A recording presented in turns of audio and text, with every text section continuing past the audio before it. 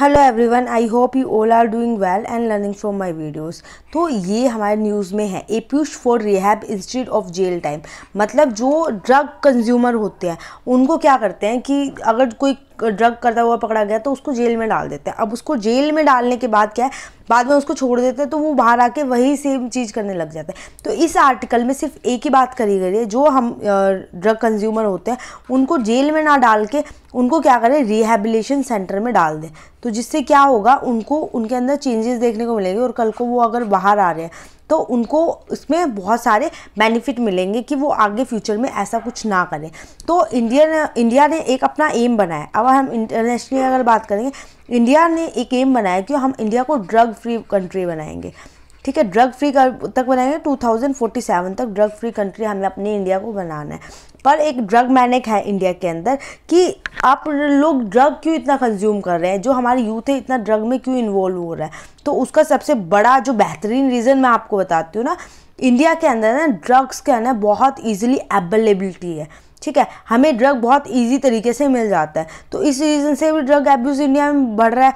और लोग क्या करते हैं? अपनी हार्ड रियलिटी जो ज़िंदगी की हार्ड रियलिटी है ना, उससे बचने के लिए ड्रग की तरफ़ खिंचे चले जा रहे हैं। जो जिसको वो फेस नहीं कर पा रहे, उससे बचने के लिए ड्रग की तरफ़ चले जाते हैं। ईजिली अवेलेबल होता है हमारे पास ड्रग ठीक है? अवेलेबिलिटी बहुत ज़्यादा है। ठीक है? जो हमारा पंजाब लगा लो और दूसरी साइड भी लगा लो। वेस्ट बंगाल उड़ीसा यहाँ से बहुत इजीली अवेलेबिलिटी इसकी हो जाती है। तो ये हमारा क्या हो रहा है? जो हमारे सोशल कॉन्टैक्ट है ना लोगों का, वो डिक्रीज़ करता जा रहा है। हम लूज़ करते जा रहे हैं जो अपना ट्रेडिशनल मेथड है। लोगों के अंदर स्ट्रेस बहुत ज़्यादा आ गया स्ट्रेस कोई भी बात होती है स्ट्रेस चक्कर में तो वो अपनी मॉडर्न लाइफ जितनी आपको पता है, जितना हमारे पास पैसा होता है, हम उतनी मॉडर्न लाइफ की तरफ़ जाते जा रहे हैं। अब किसी को वो नहीं मिलता तो वो उसमें भी स्ट्रेस में आ जाता है। पीयर प्रेशर हमारा होता है। ठीक है पीयर प्रेशर हो गया। फ्रेंड्स ने आ, कह दिया एक बार ट्राई करो बहुत अच्छा है बहुत अच्छा है। तो फ्रेंड्स के प्रेशर में हम ले लेते हैं फैमिली प्रेशर में हम ले लेते हैं और सबसे ज़्यादा इजी अवेलेबिलिटी अब इजी अवेलेबिलिटी कैसे मैं बता रही हूँ? जैसे आपको पता है ये हमारा इंडिया है ठीक है? बीच में मैंने इंडिया बना दिया। इंडिया के साथ में आपको पता है कि एक साइड तो जो हमारी कंट्रीज़ हैं ईरान अफ़गानिस्तान पाकिस्तान ईरान अफ़गानिस्तान और पाकिस्तान ठीक है, ये तीनों कंट्री यहाँ पे ड्रग बहुत ज़्यादा मात्रा में इसका कहते हैं प्रोडक्शन होता है। दूसरी साइड इंडिया में क्या है? थाईलैंड हो गया लेओस हो गया और हमारा म्यांमार तो ये भी ड्रग को बहुत ज़्यादा तो ये हमारा घिरे पड़े हैं हम, जिसकी वजह से हमारे इंडिया में बहुत ईजिली अवेलेबिलिटी हो जाती है। अब इसको हम क्या नाम दे देते हैं? क्या बोलते हैं इसको? इसकी भी एक टर्म है। गोल्डन क्रिसेंट वेस्ट, ठीक है? और जो जहाँ पे हमारे ये आ जाता है थाईलैंड, लोस और म्यांमार, इसको हम बोलते हैं गोल्डन ट्रायंगल। इन सारी कंट्रियों के थ्रू हमारे पास इजी अवेलेबिलिटी है ड्रग की। तो अब गवर्नमेंट ने क्या क्या स्टेप लिए हैं? ठीक है? आपको ये कॉन्सेप्ट तो समझ गए?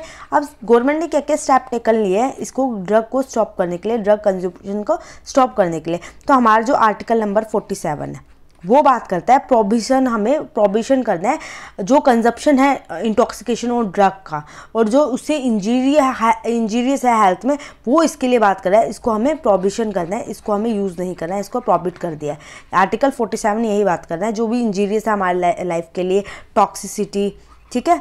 ड्रग्स इन सारी चीज़ों को प्रॉबिट किया आर्टिकल 47 ये कहता है। तो इसके साथ साथ इंडिया ने कुछ एग्रीमेंट्स भी साइन किए ठीक है, कुछ एग्रीमेंट साइन किया, उन एग्रीमेंट में कौन कौन से एग्रीमेंट आते हैं, हमें वो पढ़ने हैं।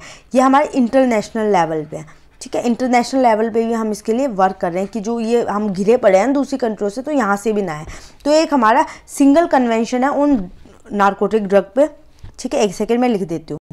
तो हमारा जो फ़र्स्ट हमने इंटरनेशनली एग्रीमेंट साइन किया, वो हमारा सिंगल कन्वेंशन और नारकोटिक ड्रग 1961 जिसमें अमेंड हुआ था 1972 प्रोटोकॉल और सेकंड हमारा कन्वेंशन किया है साइकोट्रोपिक सब्सटेंस 1971 एंड थर्ड हमने किया है United nation convention against iliac traffic in narcotic drug and psychotropic substance 1988 ये हमारे इंटरनेशनल लेवल पे जो हमारे साइन है एग्रीमेंट उनकी बात हो रही है। अब हमारे लेजिस्लेटिव एक्ट भी हैं कुछ ठीक है? लेजिस्लेटिव एक्ट ये हमारे कौन कौन से हैं?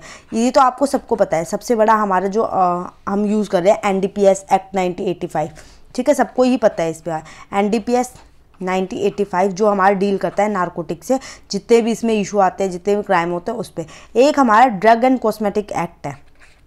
Drug and cosmetic. वो भी हमारा ड्रग की डीलिंग, जो ओपियम वगैरह, उनको ले, उनको स्टॉप करने के लिए, ये हमारे 1940 में हमने इसको लेके आए थे। और इसके साथ प्रिवेंशन ऑफ़ इलिक जो ड्रग है हमारे, उनको सब्सटेंस को रोकने के लिए, जो 1988 वाला है। ठीक है, जो मैंने पीछे बताया बताया यहाँ पे।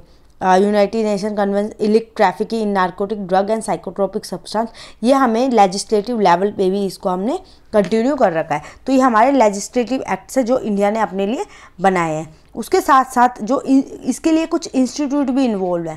ठीक है, कुछ इंस्टीट्यूट भी इसके लिए वर्क कर रहे हैं। इंस्टीट्यूशनल क्या इसमें वर्क हो रहा है। तो इसमें जो हमारा नार्कोटिक कंट्रोल ब्यूरो है एनसीबी नार्कोटिक कंट्रोल ब्यूरो 1986 के तहत जो आया था, ये भी कर रहा है। ये हमारी एक नोडल एजेंसी है। ठीक है? इसको नोडल एजेंसी हम बोलेंगे, जो कि किस पे बात कर रही है? जितने भी ड्रग से रिलेटेड केस हैं, जो ड्रग से फाइट करने हैं हमें, ठीक है? जो लोग ड्रग के रिगार्डिंग बहुत ज़्यादा जल्दी इन्वॉल्व हो रहे हैं, उन लोगों को रोकने के लिए तो उनके अगेंस्ट फाइट कर रहे हैं, ठीक है? नोडल एजेंसी जो कि ड्रग जो कंज्यूम करके उनके अगेंस्ट फाइट करते हैं। ये हमारी एनसीबी किसके अंदर है?